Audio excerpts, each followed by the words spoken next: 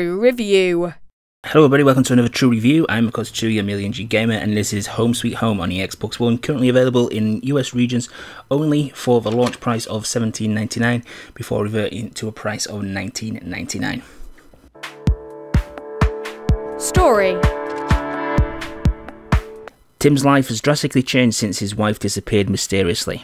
In one night after suffering from the sorrow for a long time, he woke up in an unknown place instead of his house. While trying to escape from the place, he was hunted by a wretched female spirit. Can he survive if his place actually is his house? Does it relate to the disappearance of his wife? Some dark sinister secrets are hidden inside this house, and it won't be a place of happiness as it used to be any longer. This is completely different. Graphics Home Home doesn't really set the world alight with graphical fidelity with its environments, and as per usual with these type of survival horror games, you generally will find yourself wandering through the same bland, sparse buildings littered with identical assets cropping up over and over again. On the other hand, its supernatural characters I was quite impressed with, the main one being the box cutter wielding schoolgirl who pursues you for the majority of the game, being generally eerie. The way she shambles around, pale, bruised, blooded skin, blood splatter on her shirt is very unsettling indeed. The second act introduces you to a giant creature called a Preta, or at least that's how it looks like it's pronounced. Now whilst it's not as foreboding and well defined as the schoolgirl, it does still look pretty menacing as far as big brown pustule covered creatures can go. Act 3 does revert back to the schoolgirl in which she's supported by some red spirits who generally look okay. Sound Jane? Jane, wait! Please! Jane! Fuck!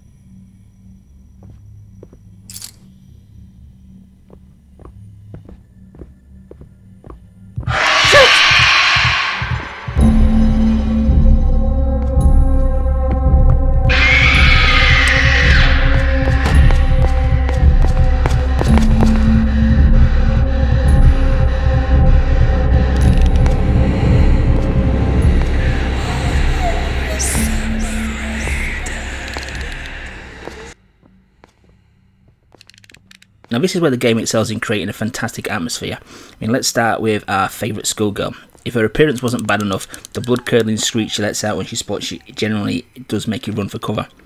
But the best of all is the static white noise and the breathless voice that you hear when she passes by when you're hidden in a locker. It really is a horrible sound. It really does get into your head and you do generally feel sorry for this uh, sorrowful creature.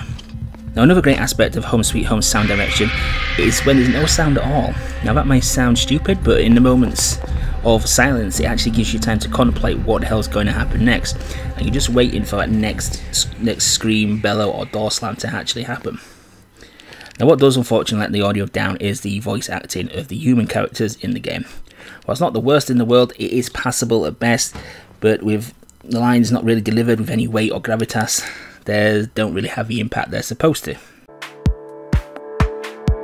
Gameplay So Tim wakes up not knowing where the hell he is, and things quickly take a turn for the worse as you're quickly introduced to the murderous box quitting schoolgirl. As there's no combat in Home Sweet Home, the only option is to stay out of sight, and if spotted, either get far enough away, which is extremely tricky to do, or get to a locker, which is the better option and one of the most common hiding spots in the game. Now, a little ways into the first act, you will find an amulet which allows you to fend off the schoolgirl on one occasion before it needs to recharge, but then you do have to make sure you either get enough distance between you or get to a hiding spot because she will immediately pick up the pursuit when she recovers.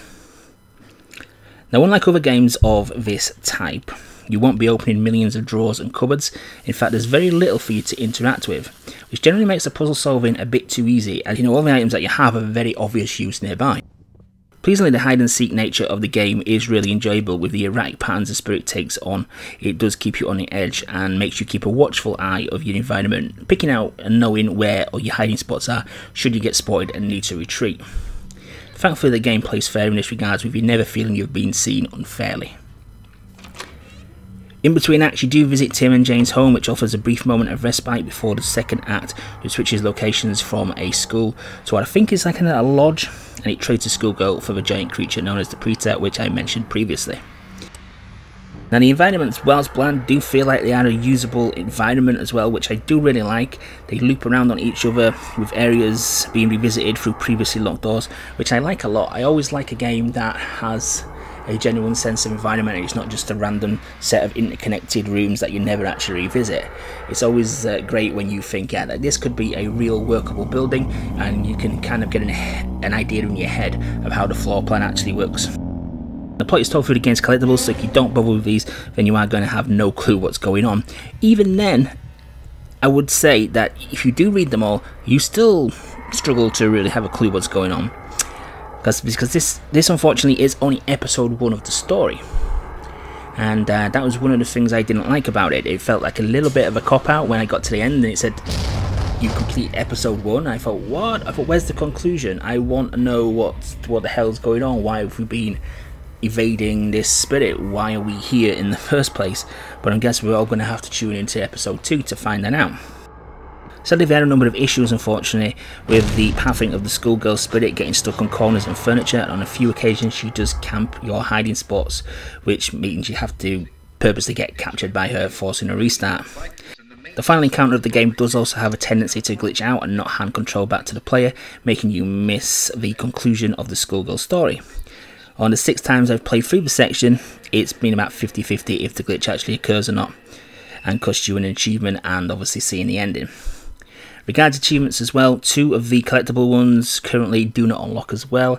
Fortunately, the one for Jane's diary will say you have all the diaries and will not pop for you. And there seems to be, in the regards to the other collectibles, either one that's missing from the final act or one that doesn't register as collected because uh, nobody has those achievements as of, and everybody has one missing and cannot find it. Now, for me, I really, really enjoyed this game.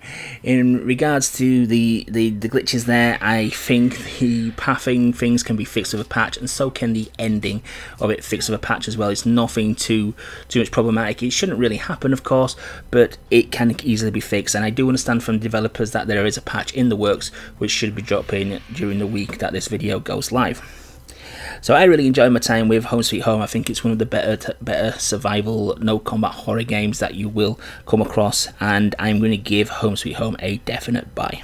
Thank you everybody for watching. If you enjoyed the review, why not hit that subscribe notification bell so you know when I upload new content, or follow me on my Twitch channel in the description below when I stream each and every day.